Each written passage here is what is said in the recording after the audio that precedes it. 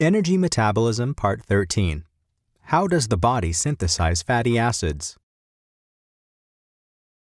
Have you ever wondered how and why all that sugar and cake lands as fat on your hips?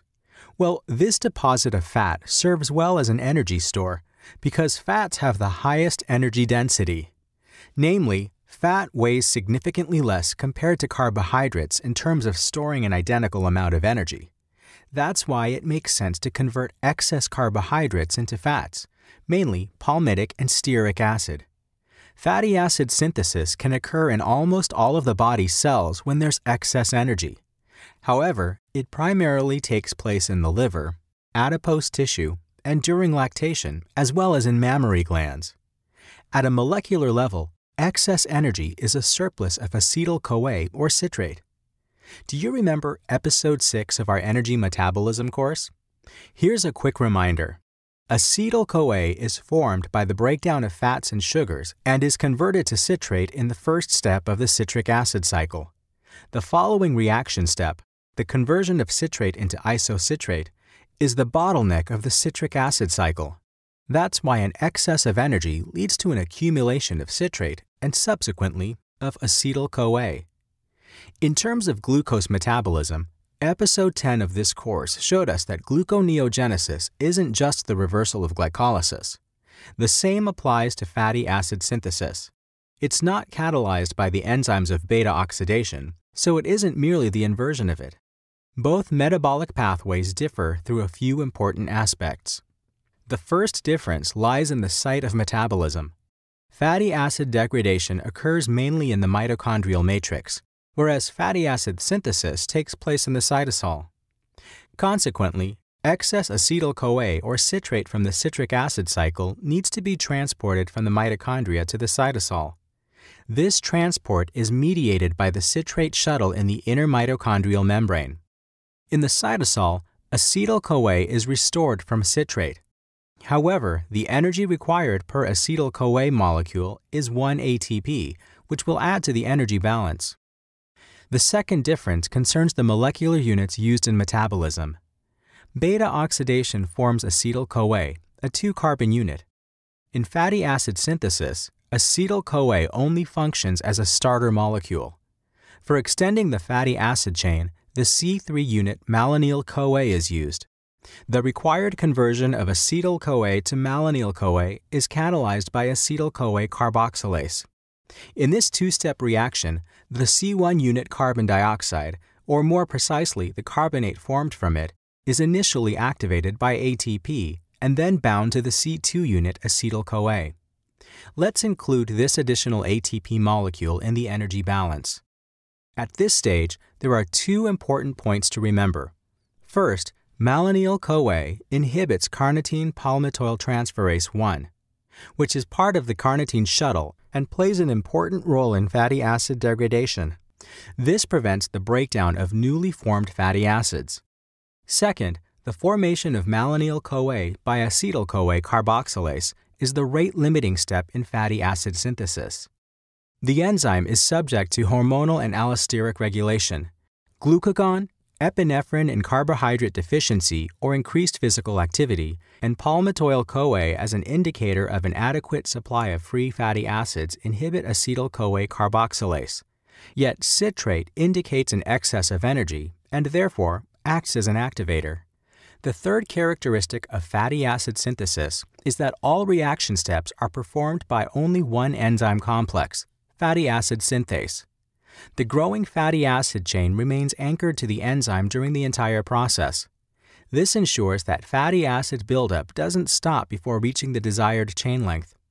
At the beginning of the process, each malonyl unit used to build the fatty acid is attached to an acyl carrier protein, abbreviated ACP. This in turn binds to fatty acid synthase. Now, let's move on to a rough description of the steps of fatty acid synthesis. If you'd like to see molecular structures with the names of the substances, click on Dieter's red molecule. You can hide the structures at any time by clicking on the molecule again. At the beginning of fatty acid synthesis, an acetyl unit is attached to the enzyme as a starter molecule.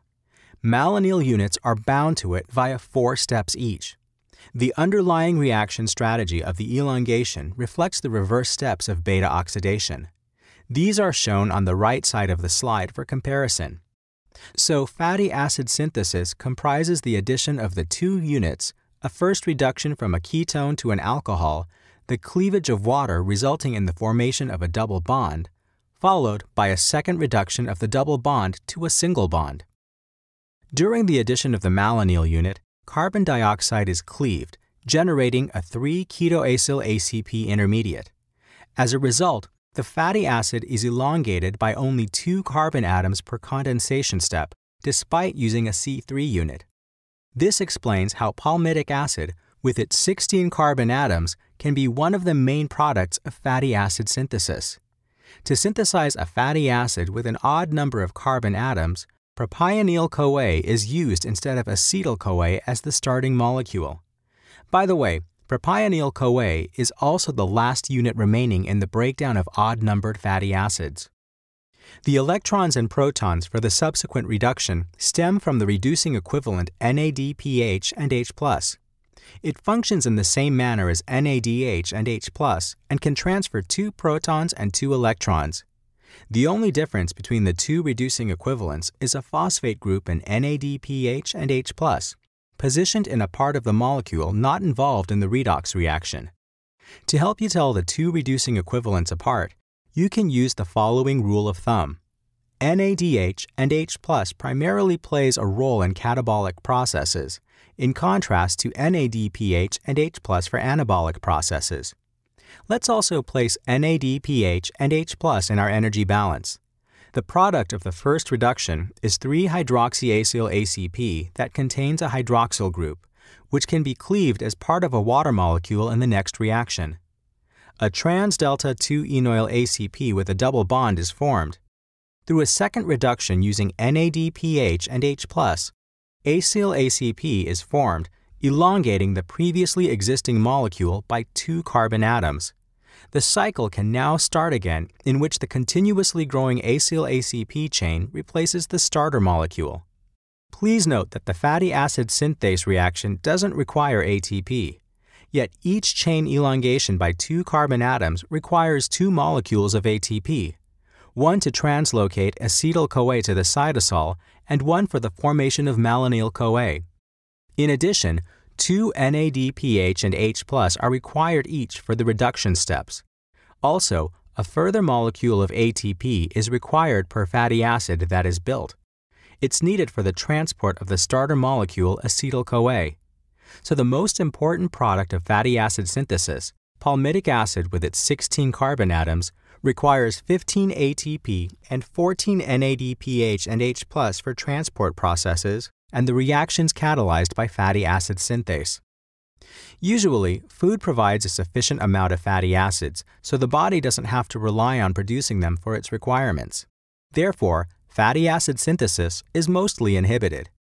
Though in times of an increased need for fatty acids, for example, during lactation, their synthesis is stimulated. Although the mammary glands synthesize fatty acids, they're also supplied with fatty acids from other tissues via the blood. However, fatty acids are a compact means of storing energy if there's a caloric surplus. In lipogenesis, the fatty acids are converted into triglycerides and stored in adipose tissue. So that's how that piece of cake ends up landing on the hips. Well, that was just a brief overview of fatty acid synthesis. Let's summarize the most important points again. Fatty acid synthesis occurs in the cytosol, especially within hepatocytes and adipose tissue.